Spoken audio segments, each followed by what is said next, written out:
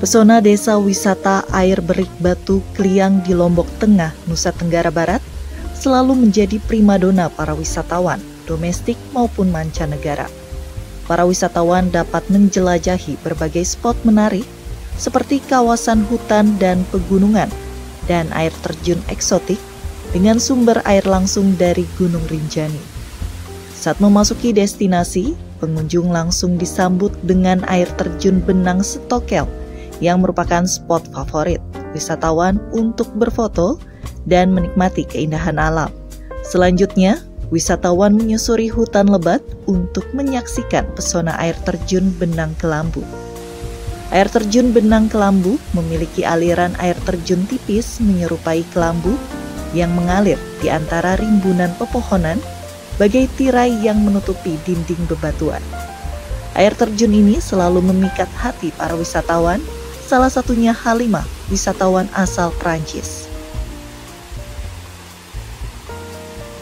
Uh, this is beautiful, this is amazing, this is the subhanallah. It's crazy to be here and uh, it's so gorgeous.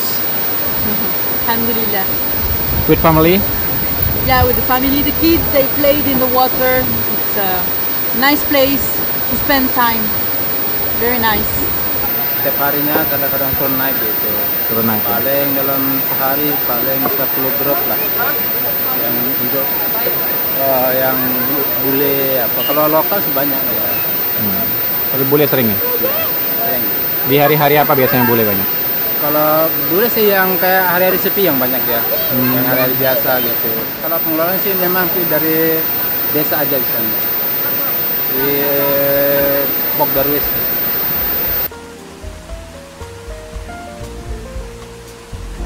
Desa wisata ini juga menawarkan wahana kolam pemandian hingga taman buatan agar para wisatawan semakin betah menikmati keindahan alam. Para wisatawan pun tidak perlu khawatir. Hanya dengan membayar Rp5.000 per orang, sudah dapat menjelajahi keindahan desa wisata air berik Batu Kliang di Lombok Tengah.